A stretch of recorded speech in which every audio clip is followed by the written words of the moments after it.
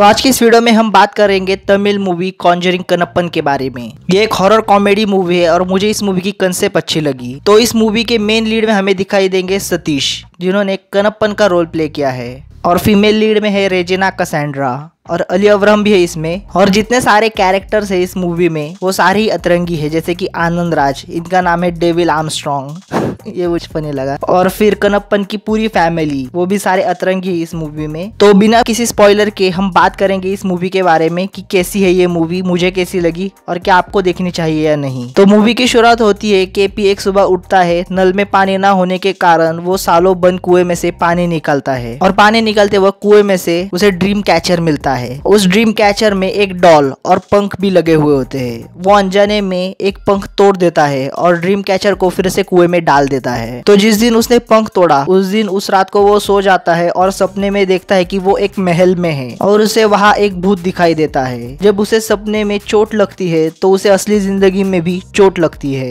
और जब वो उठता है तो उसे ड्रीम कैचर उसे उसके घर में ही मिलता है, जो उसने कुएँ में फेंका था। तो वो एग्जोसिज्म करने वाले के पास जाता है, उससे मिलता है और उसे बताता है ड्रीम कैचर के बारे में। तो वो बताता है कि वो ड्रीम कैचर श्रापित है और तुम्हें पंख तोड़ना नहीं चाहिए था। तुमने पंख तोड़ा इसलिए सोने के बाद तुम उस महल में चले जाते हो। वो उसे सजेस्ट करता है कि ड्रीम कैचर को छुपा कर रखे पूरी फैमिली से ताकि उसका कोई पंख ना तोड़े। क्योंकि अगर किसी ने पंख तोड़ा तो रात को सोने के बाद वो सपने में उस महल में आ जाएगा तुम्हारे साथ। लेकिन एक कॉमेडी डॉन होता है, जिसका नाम है डेविल आर्मस्ट्रॉन्ग ये कैरेक्टर मुझे ज़्यादा फनी लगा पूरी मूवी में से। तो केपी उससे वो पंख तुड़वाता है। और एक फनी कैरेक्टर होता है जो की साइकोलॉजिस्ट होता है डॉक्टर वो भी उस पंख को तोड़ देता है। और तीनों रात को सोने के बाद सपना देखते है उस महल का, और सपने में तीनों मिलते हैं, जहाँ होता है भूत। और क्या क्या होता है इन सब के साथ? और कौन कौन आएगा? और कितने लोग उस पंख को तोड़ेंगे? और क्या धमाल होती है? ये जानने के लिए आपको ये मूवी देखनी पड़ेगी कॉन्जरिंग कनप्पन। ये एक अच्छी टाइम पास मूवी है फनी भी है, लेकिन और फनी हो सकती थी मेरे ख्याल से। आपको अगर कंचना जैसी मूवीज़ पसंद आती है हॉरर कॉमेडी मूवीज़ को आप इंजॉय करते हो तो आप इस मूवी को ज़रूर देख सकते हो। मुझे तो ये मूवी पसंद आई और शायद आपको भी आ जाए मैं इस मूवी को देता हूँ तीन स्टार अगर आपको ये वीडियो पसंद आया हो तो इस वीडियो को लाइक कीजिए कमेंट कीजिए शेयर कीजिए और सब्सक्राइब कीजिए हमारे चैनल को। मिलते हैं आपसे अगली वीडियो में।